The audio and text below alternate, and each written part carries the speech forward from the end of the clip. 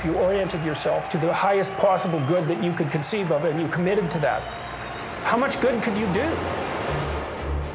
Jordan Peterson. Jordan Peterson. Welcome back, Mr. Peterson. The Canadian psychology professor is somebody people love or love to hate. He's undeniably one of the greatest intellectual phenomenons on the planet right now the requirement to speak in the politically correct manner is becoming overwhelming. I mean, you are a provocateur. I never said You're like anything. the alt-right that you hate to be compared to.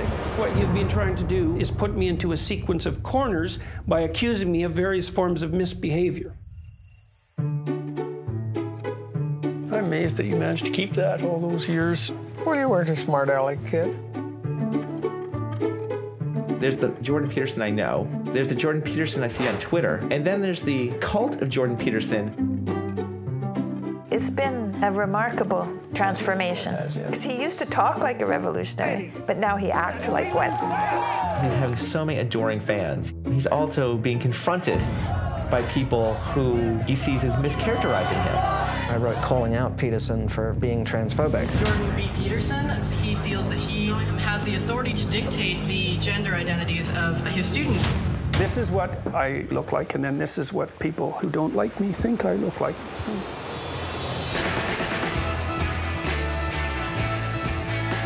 International media phenomenon. It's not easy to find people that can be so helpful. He's had a huge effect. I wrote this because there are people out there who should know what's going on. It's true that I'm a polarizing figure.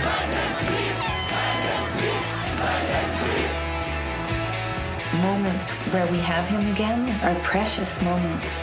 I think he's at best helping people find personal meaning. Every time I wake up, it hits me that all this is happening.